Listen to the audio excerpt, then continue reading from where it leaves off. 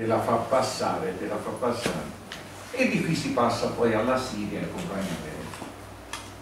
Cosa avviene nel corpo dello Stato italiano? Che di passo in passo il, si trasforma, eh, avviene una mutazione genetica, chiamiamola, del, delle stesse forze armate italiane.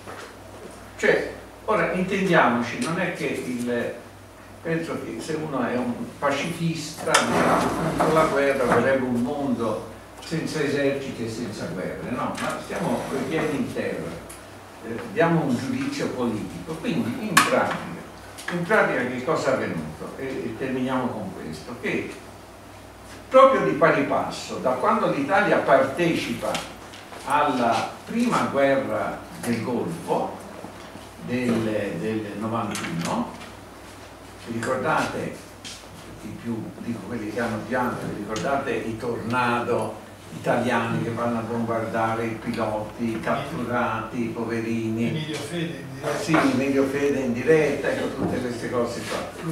Bene, da allora, proprio una volta Cocciolone, una, una, volta, una volta terminato questo, io ero eh, andai negli Stati Uniti per partecipare eh, l'anno seguente a un convegno a New York dell'altra America, chiamiamola, con Ramsey Clark e altri. Il, eh, Ramsey Clark si era già molto dato da fare per dimostrare che in Iraq venivano con, il, si recò in Iraq durante la guerra a un'equipe televisiva per filmare eh, le prove diciamo, che venivano colpiti obiettivi civili. Ecco.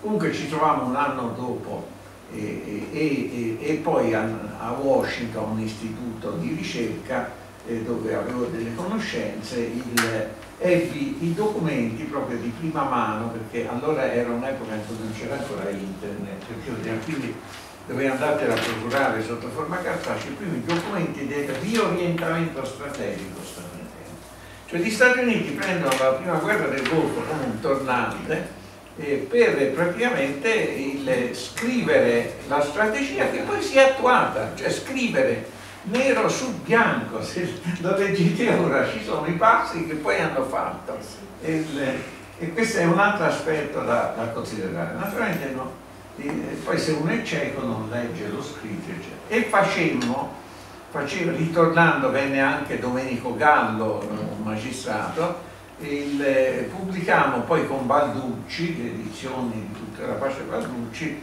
un libro che è intitolato La strategia dell'impero. La strategia dell'impero. In questo libro, questo, questo, che è un libro, una raccolta di documenti fatta da il Gallo, Allegretti e me, Allegretti era un allora un costituzionalista, Umberto Allegretti, molto bravo, gli facevo questo, questo libro per dimostrare che cosa stava avvenendo. Cioè, praticamente il nuovo modello eh, militare statunitense che diceva che ormai il, il, bisognava allargarsi eh, quanto il, a, a, qualunque area critica perché le minacce all'Occidente erano molteplici, non più ben identificabili, eh, cioè perché non c'era più il nemico eh, sovietico, quindi non più identificabile, e bisognava però il, attrezzarci per intervenire nelle aree di crisi. Questa politica poi passò alla Nato e noto è diventata la politica ufficiale del Nato. Ebbene, in quel momento, il, eh, nel 91, era appena finita la, la, guerra, la, guerra del, la prima guerra del Golfo, in Italia appare la prima bozza diciamo, del nuovo modello di difesa. Allora c'era il ministro della difesa Rognoni, nome che non credo passerà nei libri di storia, ma comunque me lo ricordo, il ministro Rognoni. Bene, in quel libro c'è un punto molto preciso, cioè che compito dell'Italia, delle forze armate italiane, è, non è più e soltanto la difesa della patria, ma degli interessi esterni Questo è il concetto. E poi si descrive dove sono questi interessi esterni. Sono in un'area molto vasta e che a sud arriva al Golfo, dove sono le materie prime da cui dipende il nostro benessere, la nostra economia e così via. Ebbene, il, questo che allora veniva definito il nuovo modello di difesa, poi è diventato il modello italiano, ha praticamente scardinato la Costituzione, via via, senza mai essere discusso in quanto tale in Parlamento, mai è stato discusso in quanto tale, cioè come visione complessiva, ma è stato sempre portato nelle commissioni in Senato, alla Camera e fatto passare come misure semplicemente tecniche. E cosa ha comportato? Una trasformazione anche della preparazione delle forze armate italiane, degli strumenti bellici in mano alle forze armate italiane, perché un conto è il, eh, essere preparati a difenderci da possibili, anche se improbabili, aggressioni. Un conto è se ti devi proiettare a migliaia di chilometri di distanza e rimanere in un teatro di guerra poi per mesi o per anni e deve avere un altro meccanismo e quindi tutto questo meccanismo è stato costruito attraverso, ripeto, provvedimenti apparentemente tecnici.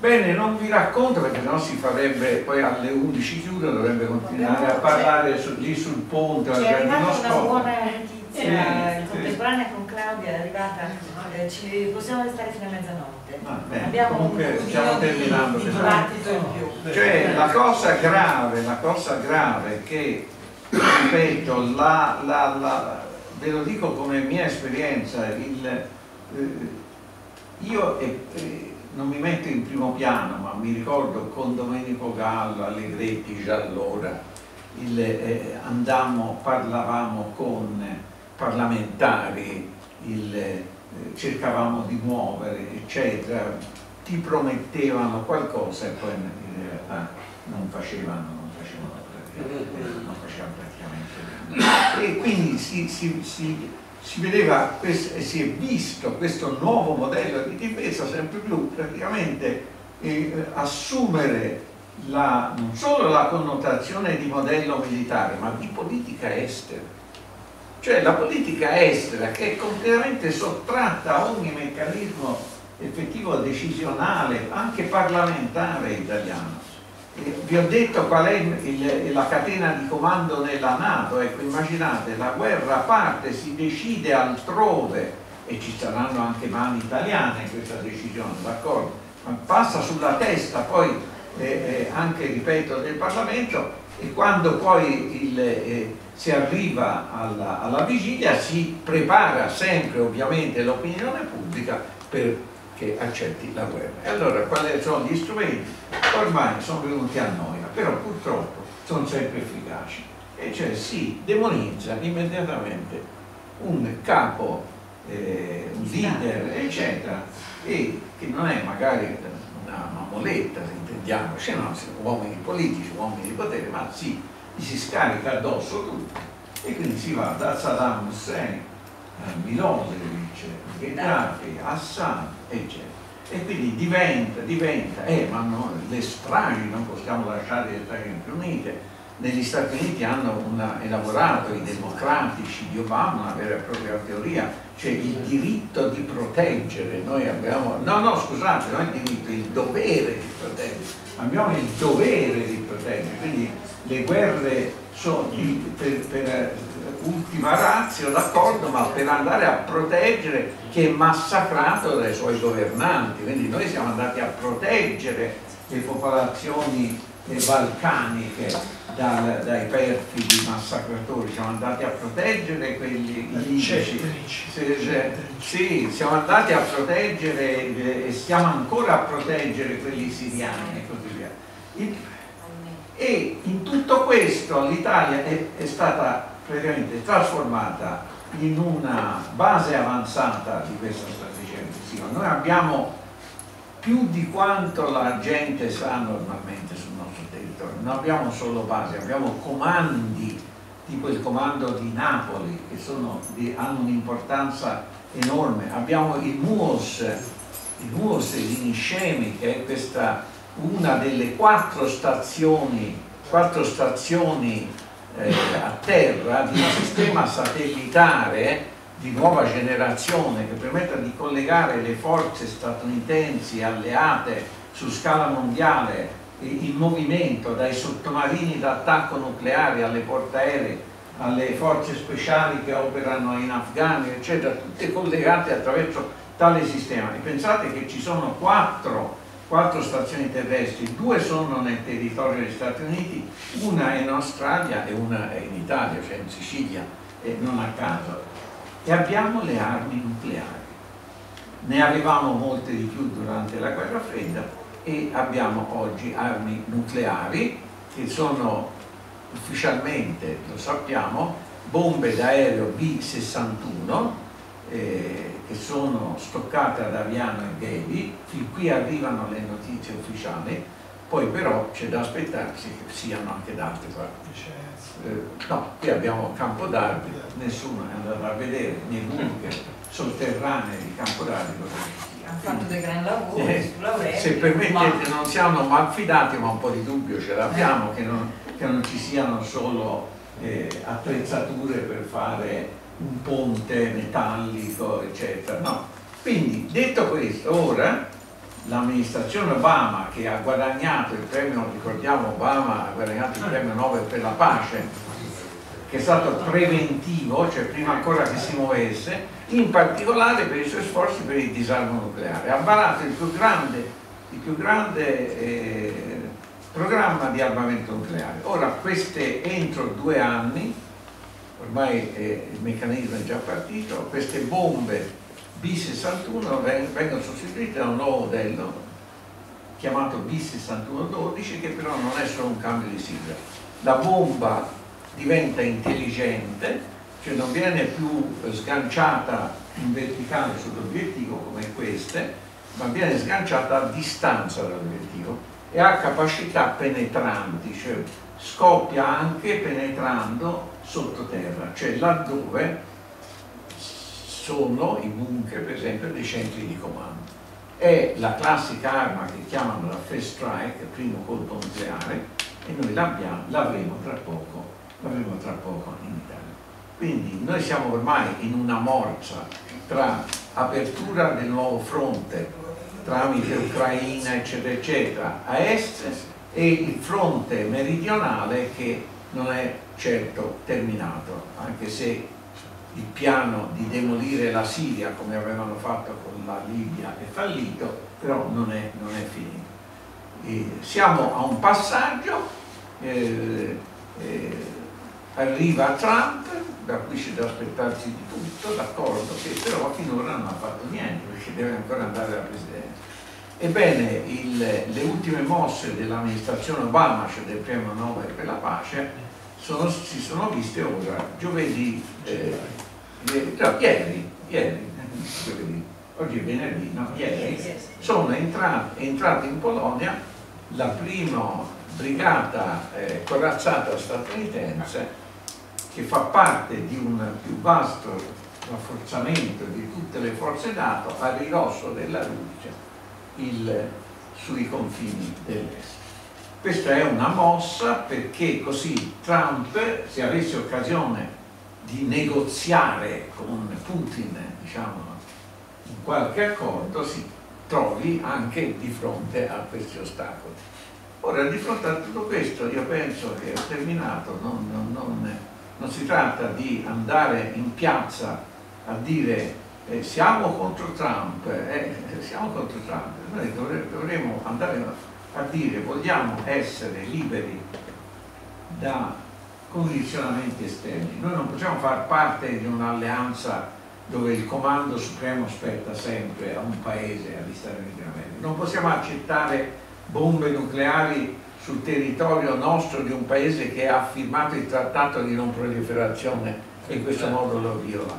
Quindi praticamente dare battaglia su tutti questi abbiamo creato questo comitato no guerra non nato per cercare di il, eh, spingere diciamo, in questa direzione. I risultati eh, sono stati in parte, eh, solo in minima parte acquisiti, il, qualche risultato c'è, eh, non so, stranamente siamo riusciti siamo tramite un referente politico a far passare al Consiglio regionale della Toscana la, la mozione contro le armi nucleari in Italia per quello che possa valere eh, però siamo indietro. Abbiamo lanciato una petizione che finora ha avuto eh, circa 25.000 adesioni e uno può dire vabbè abbiamo fatto tanto, abbiamo fatto molto poco però ci dà anche la misura eh, del fatto che se non hai in mano i media, non hai in mano gli strumenti di informazione,